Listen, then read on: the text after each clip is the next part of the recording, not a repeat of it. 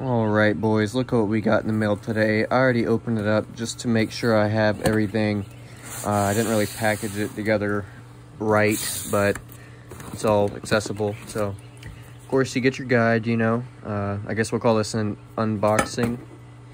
But uh, you get your uh, manual on how to do it, which really don't need. It's pretty self-explanatory for someone who's built a couple of these, but if you don't know what you're doing, I highly recommend it and this is your 44 tooth sprockets. And yes we are doing this bike. Um, I just got done securing the uh, body kit together. It's not secured to the bike yet but it's all put together now so that's almost ready to go. And then all we got to do is mount it to the seat and then uh, it'll be ready to go. I got to redo the other one over here because it's a little loose as you saw in the old the other videos I did. Um, so we'll do that later on. But anyway let's get right into this. So I'm gonna set this stuff right here. Um, and here I put the engine back in here. And uh, of course you get your throttle cable. You get a fuel filter your fuel hose. Doesn't really look long enough, but well, I have some if uh, it's not gonna work. I put both springs inside, so you should have a little spring and a big spring. One of them is to go in between the clutch and where the uh, cable runs through. Back here, right here, between uh, here and here. Uh, and then this one is just your heat shield from the motor. If uh, we can keep these things together, that'd be nice comes with your clutch cable. I got a chrome one with it. Uh, usually I get the black ones, but uh, not really a, you know, performance thing. It's just a cosmetic look, but I like the chrome. Kind of makes it look a little bit different. Some contrast in there never hurts. Um, and then you get carburetor. I kind of like, I like this, how they did the oil look. That's pretty neat. I don't really see that. Um, of course, you get everything like you'd need to make it run. This is a new engine kit. I said I was going to buy one in the uh, previous video I did of this bike. Um, this is your coil. And uh, not really sure what spark plug's in. I think it's in here. Yeah, here we are. Okay, spark plug. And this is, uh, I think it's a bearing puller or either splits your cases. For those of you who don't know what that is, it's either one uh, I'm pretty sure um, you can use it probably for both or something like that. I don't know. I've never had to use it, but that's what that is. Or one of the two. Don't quote me on that. Just research it. Then you get your grips. Remove all this so I can open this up.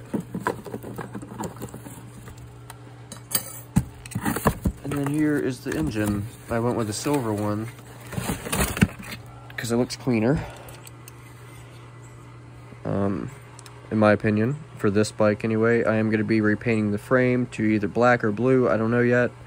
Um, we'll decide. Let me know what y'all guys think. Uh, but here's the engine.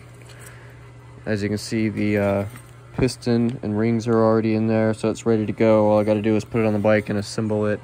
We won't do a video of that because it's probably going to take a little bit, and uh, I really don't have time to film it. Or we might do it. I don't know. We'll see. Um, but these videos will be in parts if I do.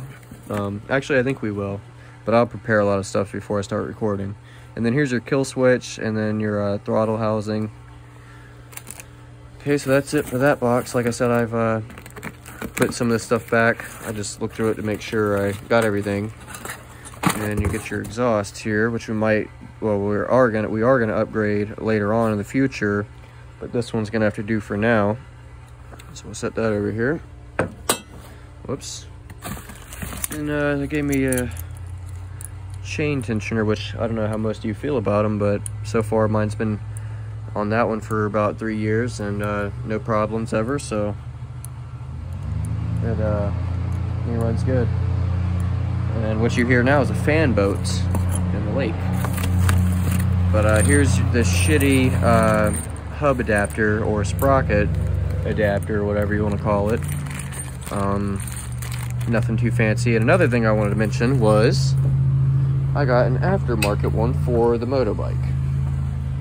Look at that. Yes, we are going to be painting this because it looks like shit. It's rusty as hell, but we have a new hub adapter. And it works perfect. So, we might get one of these in the future for that. I don't know yet. We'll see. I don't want to spend too much money on this build. I mean, because it, it's still going to need a crank and all that, which I have part spikes back there, but I got to figure out which one's going to work. So, I mean, they I think the mountain bike one will work. anyway, you get your chain. This is your clutch cable here. There's Oscar. There's my first silver motor I bought. The clutch is bad and the uh, crank doesn't uh, spin around all the way, so that one's just going to be used for spare parts or whatever.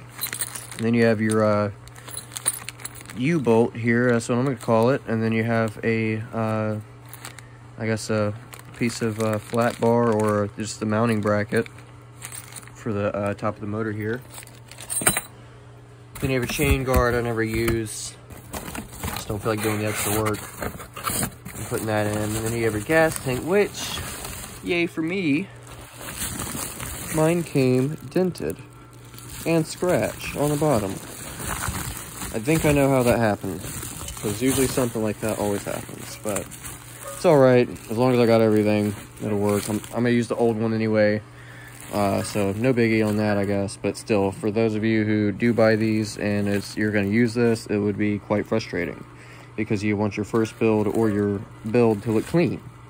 And this just makes it look unclean, in my opinion. But anyway, it's going to chip off eventually and probably get dented up if you crash or anything like that. But still, I think that's, yeah, it bothers me.